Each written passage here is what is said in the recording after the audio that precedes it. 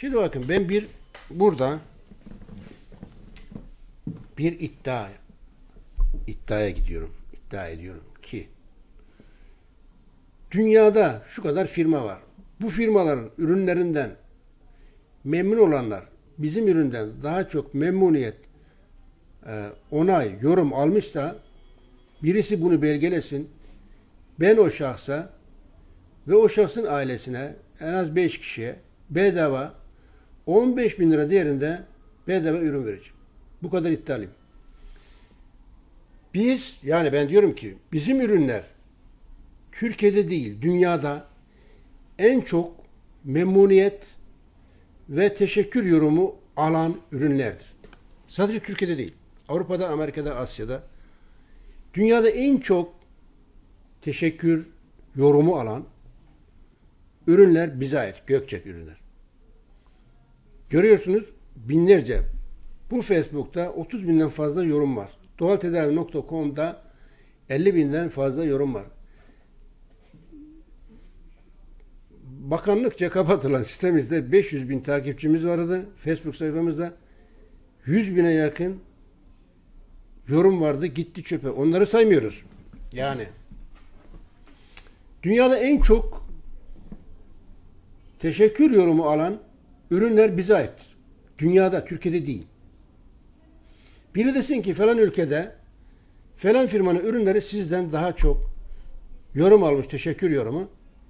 Ben onun ailesinden 5 kişiyi, 5 hastayı veya fark etmez başka çevresinden bedava 15 bin lira değerinde ürün vermeye hazırım. Birisi belgelesin. Belgeleyemez. Neden? Çünkü biz iddialıyız. Biz Türkiye'de değil, dünyada en kaliteli ürün üretiyoruz ve de daha da iyisini üretmeye çalışıyoruz. İyinin de iyisini yapmaya çalışıyoruz. Hiçbir zaman kaliteden ödün vermedik, vermiyoruz.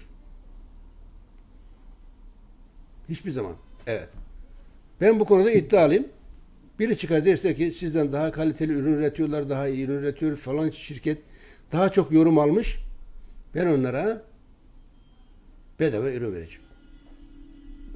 Tanıdığı veya çevresinden veya ailesinden 5 kişinin tedavi masraflarını ben karşılayacağım. Bizim ürünler alacak tabii. 15 bin lira değerinde ürün vereceğim. Evet. Hodri meydan. Buyurun gelin.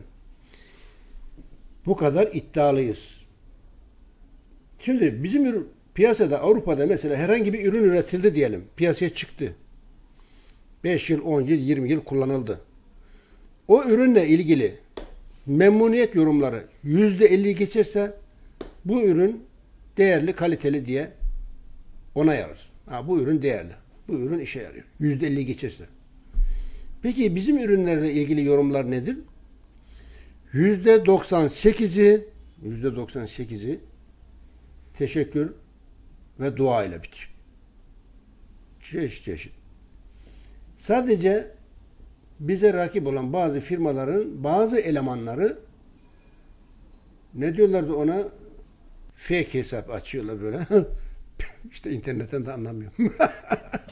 La ilahe illallah. Her şey anlayacak değiliz. Fake hesap açıp da kötü yorum yapanlar olabiliyor. A, B, C, D başka firmaların elemanları. Bunlar hariç.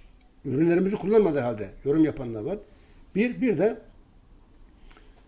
iksiri hanımından korktuğu için, ağzı sarımsak korktuğu için kullanamayanlar var.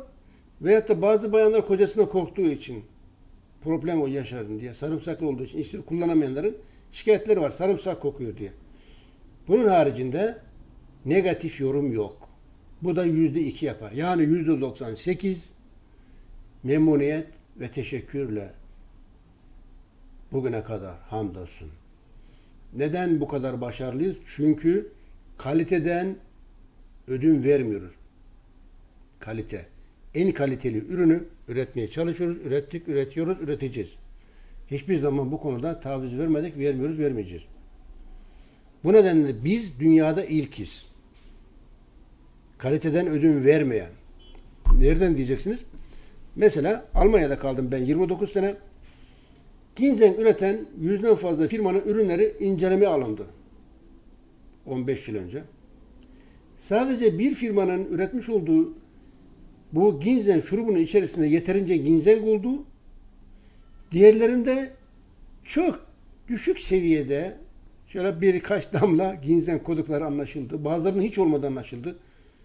Ve hepsini ilan ettiler. Televizyonlardan reklam ettiler. Bunlar dolandırıcı üçkağıtçı diye. Almanya'da. Yüzden fazla ginseng damlası derecesi üreten firmanın sadece birisi gerçek anlamda ürün üretmiş, diğerleri fos. Bir de ginseng mesela fos çıktı diye bir haber oldu. GNC diye bir Amerikan şirketi ise üretmiş olduğu bütün ürünlerin içerisinde sadece pirinç nişastası koyduğu ortaya çıktı. Yargılanıyor ama kapatamıyorlar. Niçin? Arkasında çok güçlü bir ilaç mafyası var. Neyse. İnsan, isteyenler Facebook'ta insan sağlığı diye bir sayfa var. Foyaları ortaya çıktı logosuyla yayınlanıyor. İsteyenler oradan bakabilirler. Hangi firmalar hangi ürünleri üretmiş ve onlarla ilgili ne tür rahatsızlar var görebilirler. Arada sırada ben de bakıyorum. Siz de bakabilirsiniz. Siz de görebilirsiniz. Ee, Birçok kişi orada yazıyor. Ve herkesin kirli çamaşırlarını ortaya döküyorlar. A, B, C. Her neyse. Evet. Evet iddia başlamıştır. Bedava ürünü almak isteyenler araştırma yapabilir. Evet ne diyor?